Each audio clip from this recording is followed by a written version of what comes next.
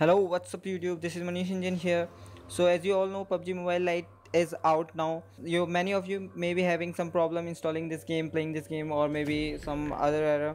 So I'm going to dis discuss all error one by one. First, we will talk about the installation error.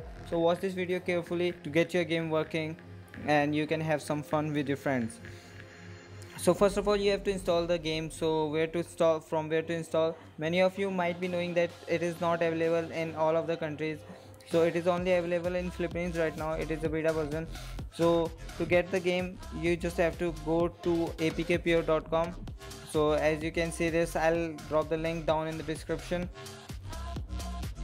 so you can check the link from down uh, there and you just have to download this file of 247.9 MB so as I have already downloaded that file so I don't have to download it again. So you can just download it from here. It is a working link right now. And the next thing you have to do is go to the file manager. And one thing I want to tell you that if you have already downloaded the file that file will be uh, of extension xapk so the file will probably be in download folder or maybe it will be uh, in another folder if you have specified some other folder. So you just have to rename that file and at the end of that file there would be something like xapk uh, just change the xapk to zip and there you go. Uh, i've already extracted the file. So as you can see, see that i'm not going to extract right now. So this is the extracted file right now. Here it is so you'll get an apk package and an obb package. So first you have to install the apk package right here.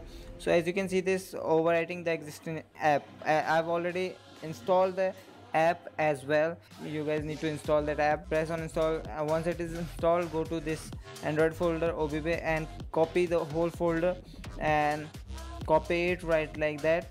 And just go to internal storage android obb and just paste it uh, under the obb folder. As i've already pasted that file in my obb folder it, it is showing to overwrite so i don't want to overwrite so it is there. So as you can see that obb file is there. So now uh, you think that you just have to launch the game. So i'll just launch the game. So after launching the game you will see an interface like this Tencent game and light quantum uh, light speed and quantum studio so uh, you must be thinking that you you are uh, you have installed the game and you are ready to play this game right now. But uh, you are wrong my friend. This is where the shit begins. So uh, you'll see a server problem it is just going to pop up soon. So to make this video uh, shorter so i'll cut this and i'll just show you the server problem. So there you go so as you can see this uh, it says server did not respond. Please return to the login page. So this is the second error we have to encounter right now. So let's move to encounter this error. So you, first you have to exit this game. Make sure to exit this game properly. I'm just clearing clearing it from my ram. So then you have to go to play store go to play store and search for dns changer. So as soon as you write dns you'll see a, a blue logo there uh, click on that and install that app. As i have already installed that app open that app and you have to do some setting in that app. So i'll i'll tell you and i'll uh, write it in the description.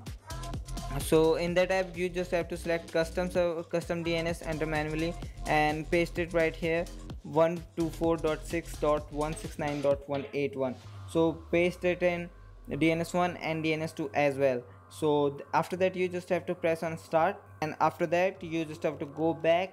So you just have to if it asks for any permissions uh, for using VPN just press on OK.